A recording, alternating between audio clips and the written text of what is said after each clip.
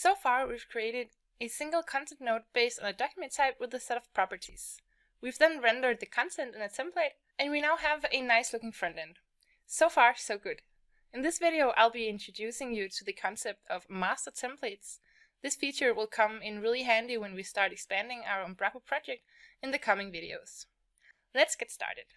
So our front page here. Currently, we have a set of different elements in our HTML structure for the website. There's a navigation bar up here, a banner here with a title and a subtitle. Then, if we scroll all the way down the, to the bottom of the page, we have a footer here as well. Now these are all elements that we want to show on all pages on our website, right? And not just here on the front page. One way to do this would of course be to simply copy and paste the code into each template we're going to create. Yeah, you've already guessed that that's not what we're going to be doing here. No, that wouldn't be smart at all.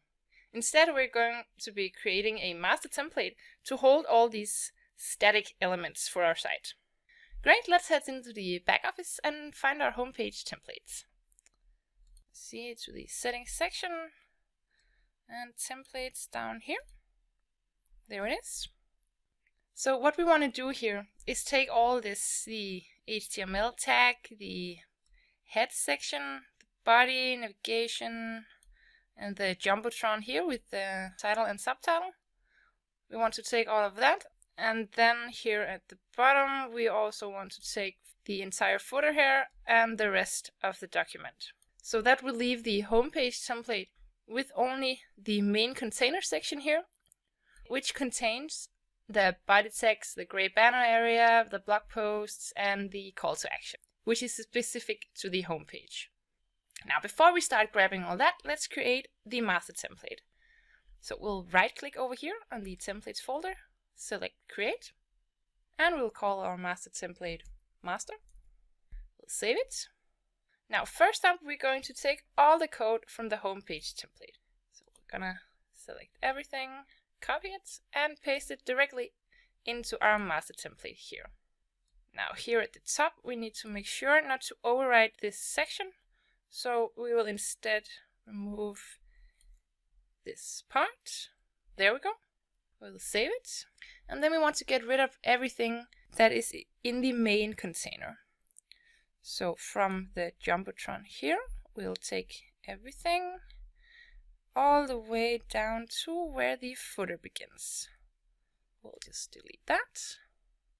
And we'll leave a few lines free here in the middle.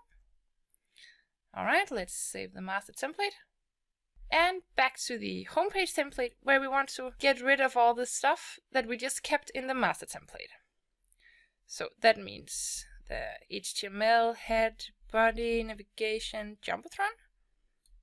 We'll re remove that. And then all the way down here, we will get rid of the footer as well as these end tags down here. Great, so I will just clean this up a little bit. There we are.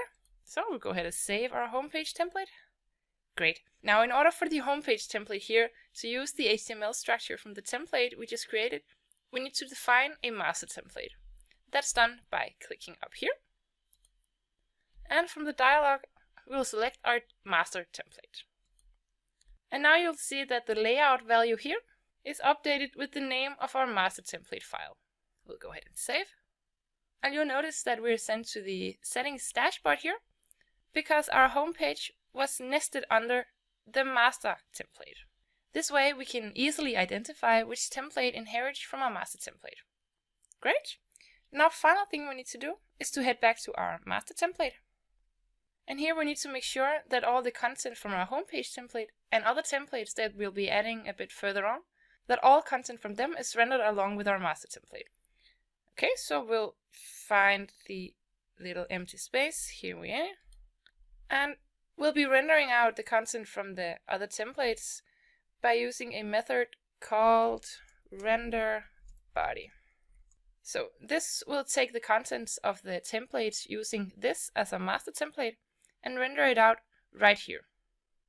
So you can either type this out like I just did, or click section up here and choose render child template. Alright, let's save the master template.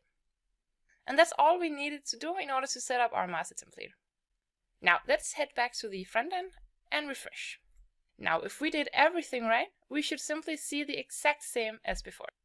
Yeah, looks like we did it correctly. Cool.